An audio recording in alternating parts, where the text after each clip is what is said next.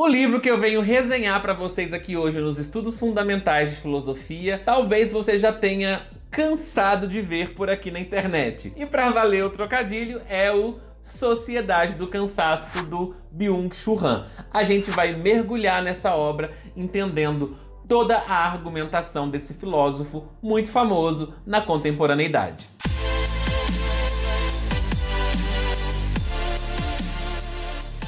Gente, bem-vindos de volta ao Filosofares. Mais uma vez, um vídeo aqui alimentando essa playlist que vocês adoram, tenho certeza que é as Estudos Fundamentais de Filosofia. E hoje, como eu já falei aqui no início do vídeo, esse livro aqui que é o queridinho de muitas pessoas porque ele é uma porta ótima de entrada tanto para a filosofia contemporânea quanto para esse pensador que tem sido cada vez mais publicado no Brasil chamado Byung-Chul Han. E antes da gente mergulhar nessa obra, eu quero pedir para você, já no começo, porque talvez você se esqueça lá no final de fazer isso, de deixar a sua curtida aqui embaixo. Vocês não têm noção o quanto que essa curtida que você dá aqui no vídeo pode fazer esse vídeo ser distribuído para mais pessoas e ser também encontrado aqui no YouTube.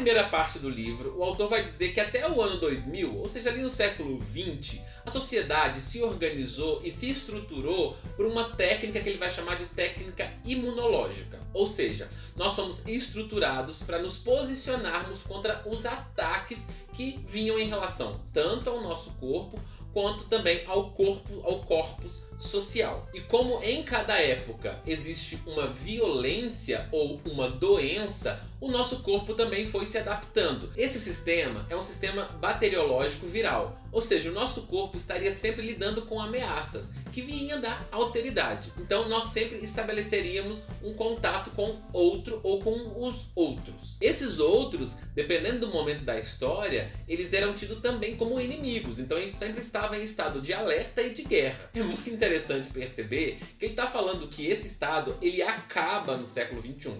Mas como ele escreve a obra em 2010, ele não imaginaria que em 2019, 2020, nós estaríamos aqui enfrentando uma pandemia.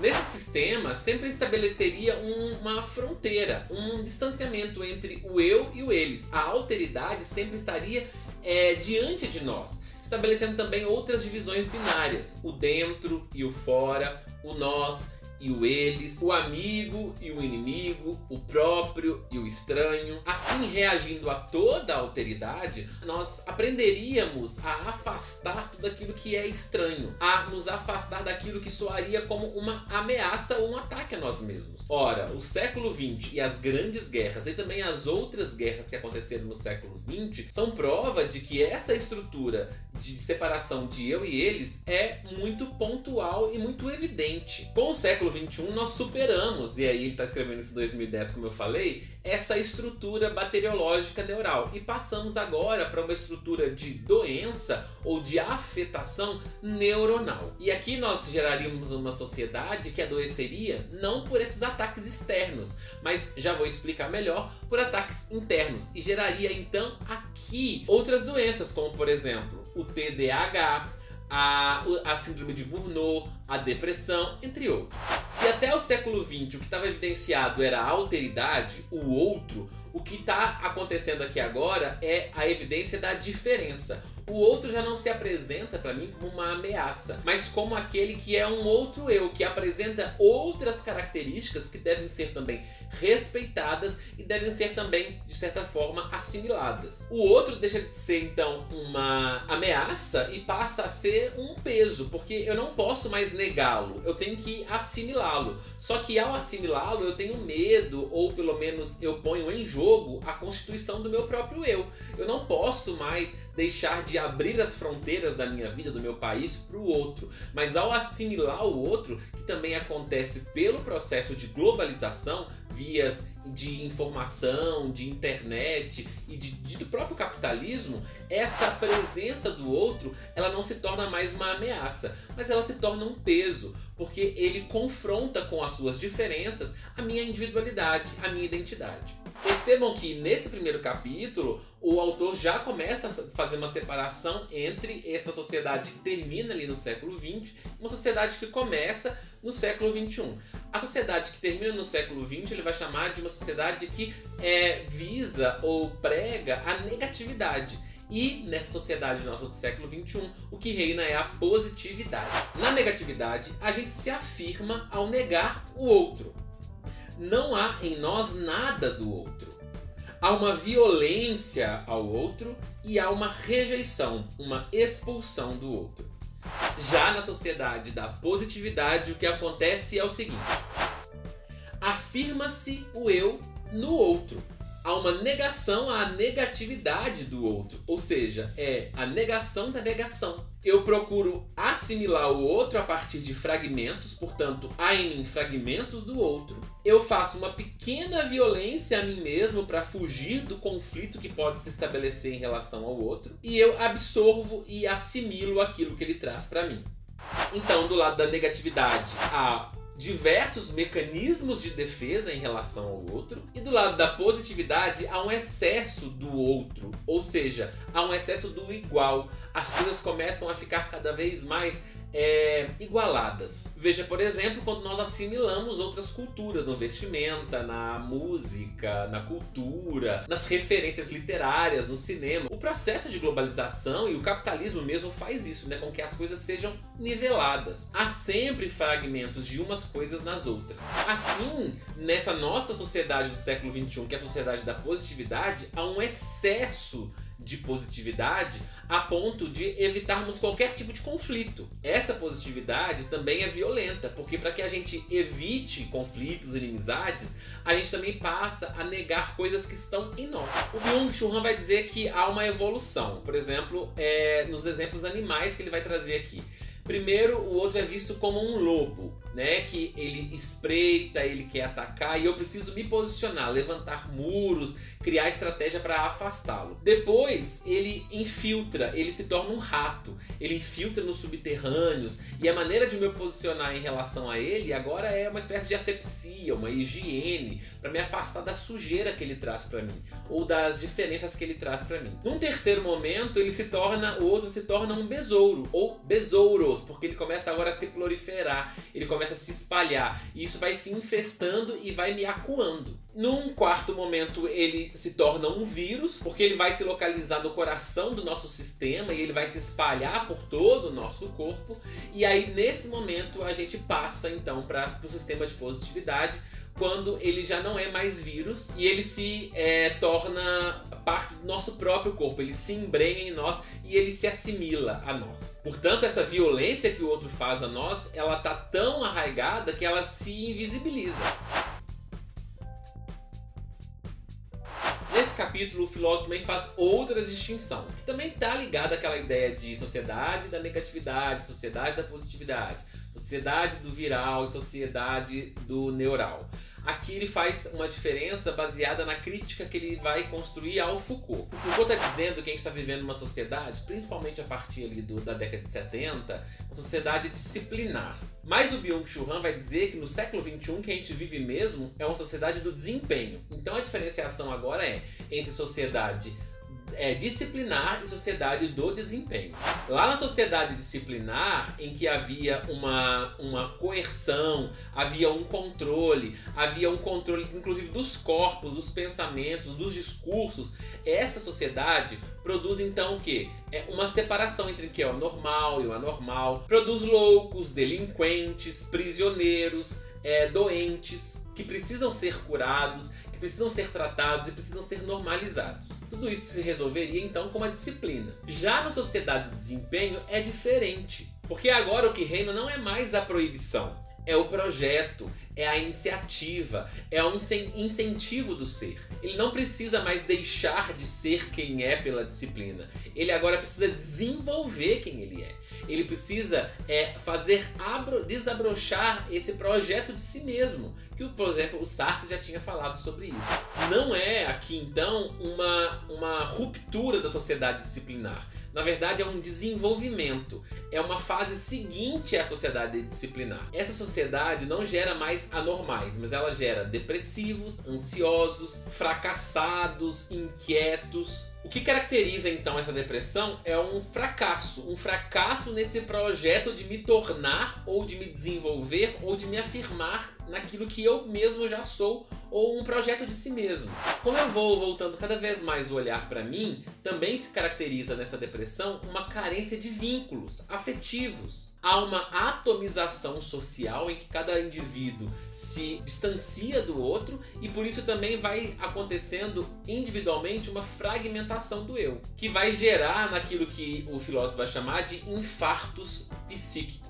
Essa depressão também provém do homem laborans, ou laborans, que significa o seguinte, que agora a tarefa, o trabalho é sobre si mesmo. Eu preciso me construir. Eu sou a empresa de mim mesmo. Eu sou a tarefa que eu devo cumprir em relação a mim mesmo. Portanto, aquela sociedade que era separada entre que alguém mandava e alguém obedecia, alguém é, disciplinava e alguém era disciplinado, alguém coagia e alguém era coagido, não existe mais. Agora, todas essas estruturas de separação entre o que a gente vai chamar aqui de agressor e vítima, ela se encontra no próprio sujeito. Eu sou o agressor e ao mesmo tempo eu também sou a vítima.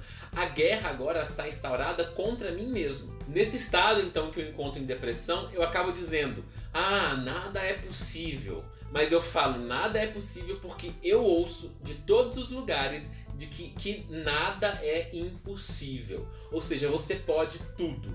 E aí, quando você tenta, você não consegue, aí você é, entra no estágio de depressão porque você percebe nada é possível. Então, se há uma abertura imensa para a liberdade, isso acaba se convertendo também em coação. A liberdade agora de fazer, de ser, de promover, de instituir o que se quiser de si mesmo, acaba sendo uma coação, porque você acaba é, instaurando para você mesmo uma pressão de ser. Nesse estágio de excesso de positividade, do faça, do seja, do viva, do se manifeste, do se construa, o que acontece também é uma elevação dos impulsos, dos estímulos e das informações. Estamos cercados por isso. E se exige do indivíduo que ele seja ao mesmo tempo multitemporal e multitarefa. Você precisa se desdobrar em si mesmo. E aqui o filósofo vai dizer que então a gente acaba se aproximando do próprio animal selvagem. É quase que uma involução. Ele vai dizer que o animal selvagem é que é esse multitarefa, porque enquanto ele come, ele tem que estar atento a, por exemplo, a uma ameaça que se aproxima, ele tem que defender a cria, ele tem que estar é, realizando várias tarefas ao mesmo tempo. E esse é o sujeito que está na modernidade, na verdade no século 21, porque ele trabalha ele está atento, ele multiplica seu tempo, ele carrega o trabalho consigo mesmo, não só o trabalho relacionado a uma empresa, por exemplo, mas é o trabalho de se construir. Você não tem descanso de si mesmo. E aqui ele vai lembrar, inclusive, que esse é o último homem lá do Nietzsche, aquele que antecede o super-homem, aquele que tem a vida como tarefa, como trabalho. E nesse estágio de vida não há espaço, por exemplo, para a, o, o descanso, ou para o que ele vai chamar aqui de tédio. Só que do mesmo jeito que o sono é importante para o corpo, esse tédio que a gente não se permite viver é também importante para a consciência, para a alma, para nossa interioridade. E assim a gente acaba matando todo o processo criativo, não há mais criatividade, há uma, uma vida baseada em cópia, em reprodução, já não há mais contemplação, há uma produção em massa e também já não há mais nenhum descanso espiritual. Agora, nesse capítulo, ele vai é, levantar uma crítica ao pensamento de Hannah Arendt. Parece que ele tem feito aqui em alguns capítulos crítica aos filósofos, tá? Ele vai fazer isso também, por exemplo, com o George Agamben daqui a pouco. A Hannah Arendt, rapidamente aqui para explicar, dizia que a sociedade moderna ela acaba é, terminando com a, a possibilidade do ser humano de agir. Ele já não é mais um homem ativo mas ele é um ser humano agora que trabalha. E o trabalho precisa eliminar as individualidades, então o ser humano trabalha, mas ele trabalha em prol de uma espécie de comunidade. O homem então passaria a ser o animal laborans, aquele que trabalha, aquele que é não é mais um ser ativo, que tem iniciativa, mas que corresponde a uma iniciativa alheia, que é comunitária, que precisa então da sua invisibilidade. Assim, ele renuncia à individualidade, mas para que a sociedade funcione melhor. Só que aqui o Byung-Chul Han está criticando esse pensamento da Hannah Arendt, dizendo que não, no século XXI o homem não abandona a sua individualidade para viver em sociedade, fazer com que a sociedade funcione. Na verdade, ele abraça e ainda mais a individualidade. Ele se volta cada vez mais para si. Ele é provido de tanto, de tanto ego que essa essa exacerbação do ego leva ele ao dilaceramento. E aqui então ele é tudo menos passivo, ele é hiperativo e inclusive hiperneurótico. Institui-se assim aquilo que o filósofo vai chamar de vida como transitória, porque já não mais faz sentido todas as instituições que foram nos levantadas até então, como por exemplo religião, Estado, igreja, é, política institucionalizada. Nada disso, nem mesmo a religião, nem mesmo a ideia de Deus, portanto, aqui é, a ideia de que Deus está morto faz sentido, promete para nós mais uma estabilidade, uma duração, uma salvação. Aqui ele vai de novo puxar lá o Nietzsche para dizer, inclusive, que a saúde, então, é a nova deusa dessa é, sociedade do desempenho. Porque há sempre uma sensação de urgência para fazer a vida durar, não só sobreviver, mas para fazer com que ela dure, para com que ela permaneça. Então agora ele traz um outro conceito para ressignificar do George Agamben chamado Homo sacer. Em linhas gerais, o Homo sacer é aquela pessoa que ela era excluída de uma sociedade mais primitiva e desnudo de agora da sociedade, ele poderia sofrer qualquer tipo de violência né? Inclusive é, ser assassinado, sem que a pessoa que fizesse essa violência a ele pudesse sofrer consequências morais ou até mesmo é, políticas por causa disso. O que acontece pro Byung Chul Han é que nós somos esse homo sapiens, só que incluídos na sociedade. A gente está aqui desnudo.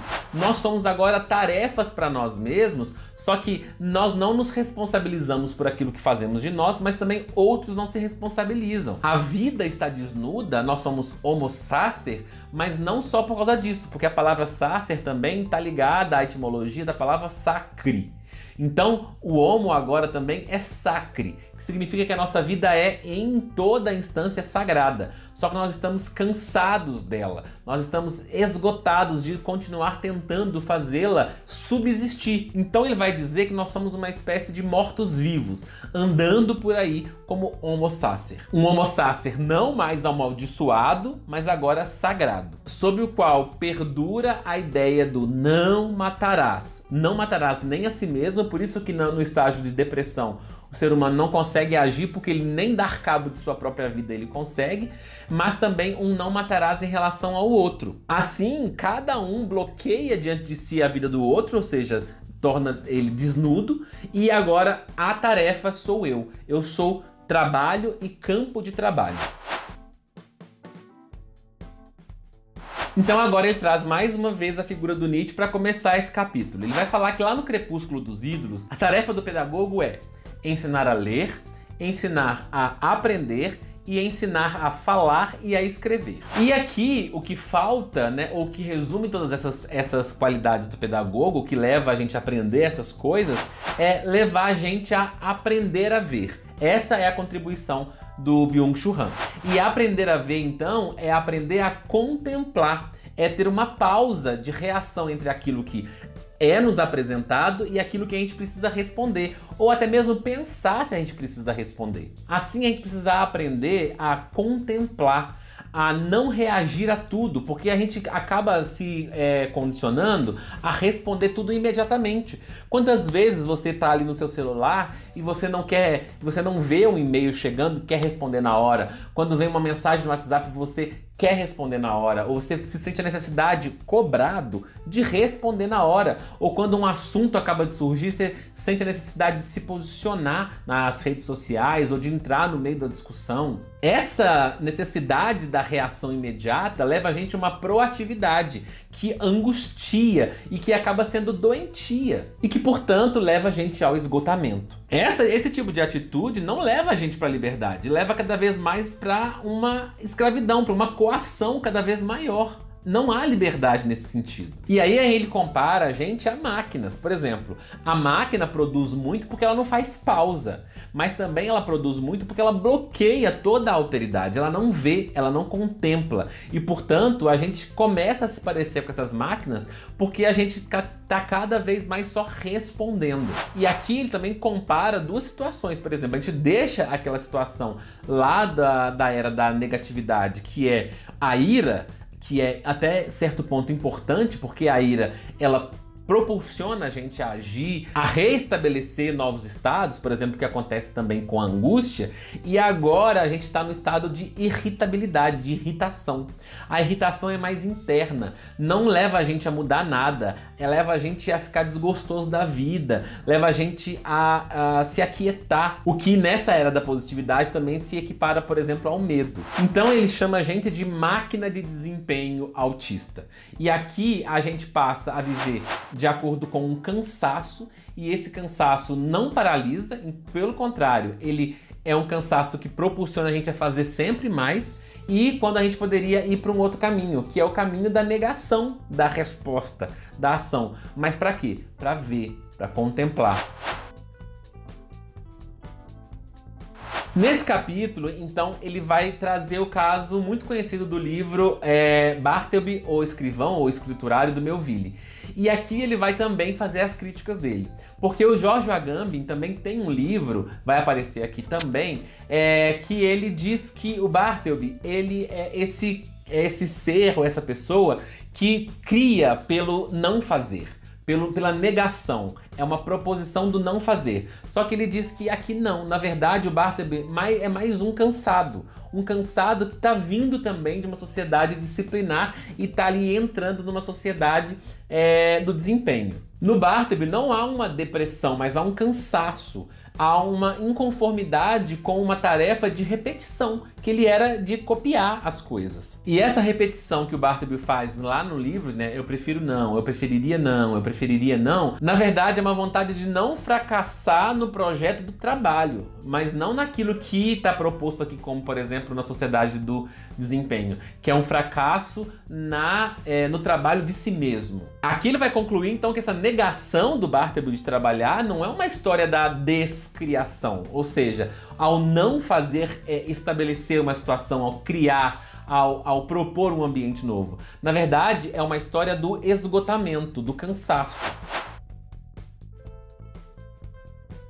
Nesse capítulo que dá nome ao livro, ele vai começar falando da sociedade do cansaço como uma sociedade do doping.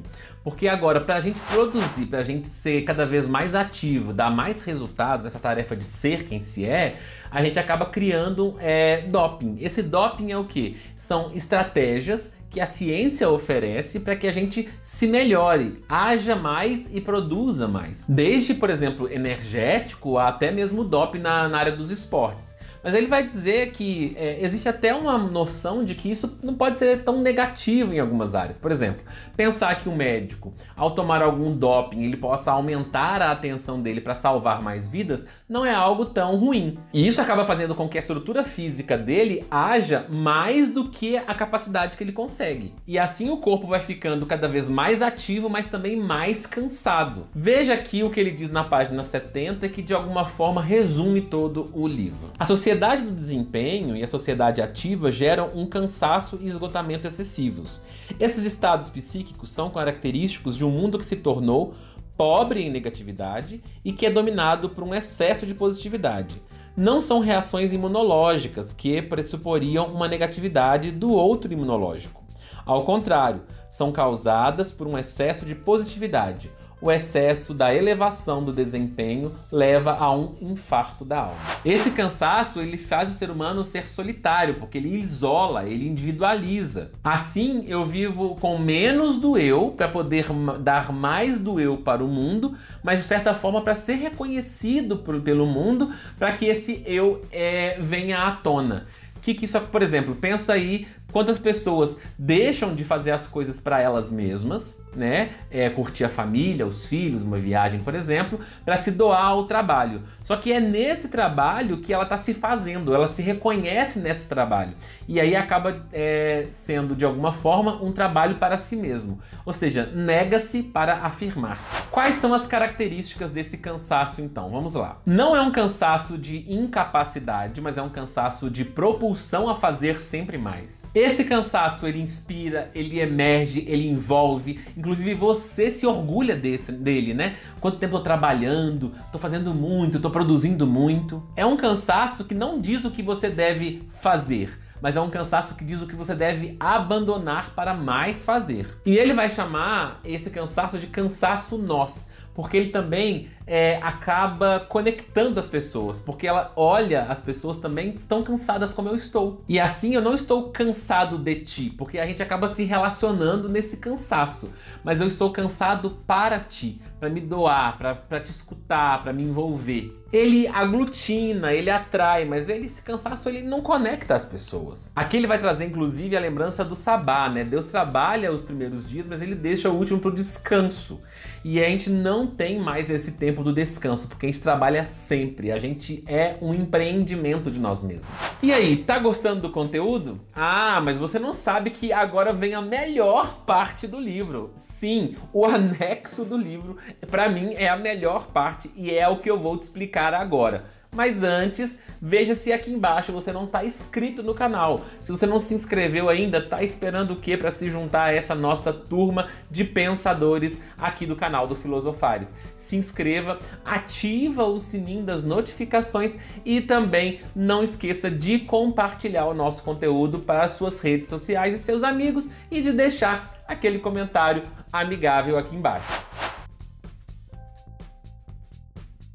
Agora então vamos falar dos anexos, são dois. Eu vou explicar só o primeiro e depois eu vou dizer por que não vai entrar aqui o segundo. É a sociedade do esgotamento. Para mim, inclusive, é a melhor parte do livro. Nessa parte, o Byung-Chul Han traz a contribuição de outros dois pensadores, filósofos, o Freud e o Kant. Ele vai dizer que tanto no Freud quanto no Kant há uma sociedade da repressão né? O que acontece? No Freud, o, o, o superego, por exemplo, é um aparato repressivo, é um aparato orientador, é um aparato do não, do dever. Há um princípio de realidade que mostra que a gente deve pensar no nosso dever, o que eu devo fazer. E aí ele traz aqui também a contribuição do Kant, quando ele vai falar que nós temos um princípio interno na consciência que é, move a gente para fazer aquilo que é correto, pelo dever. Há uma cisão entre nós de um alguém que manda e alguém que obedece. Esse sujeito obediente, então, é ao mesmo tempo acusador e juiz.